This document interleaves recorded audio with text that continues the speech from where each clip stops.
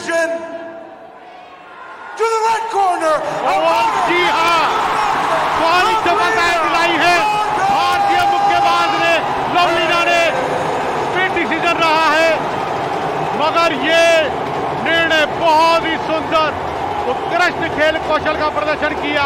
भारतीय मुक्केबाज ने अतुल्य साहस के साथ यहाँ पर खेलती हुई और स्वर्णिम सफलताएँ दिलाई है भारत को। मुकाबला एक तरफा नहीं था आनंद। लगातार प्रहारक क्षमता का प्रयोग किया गया। भास्कर भट्ट मुख्य प्रशिक्षक। बहुत ही अच्छे बहुत ही मेहनत की है इन प्रशिक्षकों ने इन मुक्केबाजों के साथ। मुक्केबाजों ने अपना दमखम दिखाया और प्रशिक्षकों ने अपना योगदान दिया उनको दिखाकर।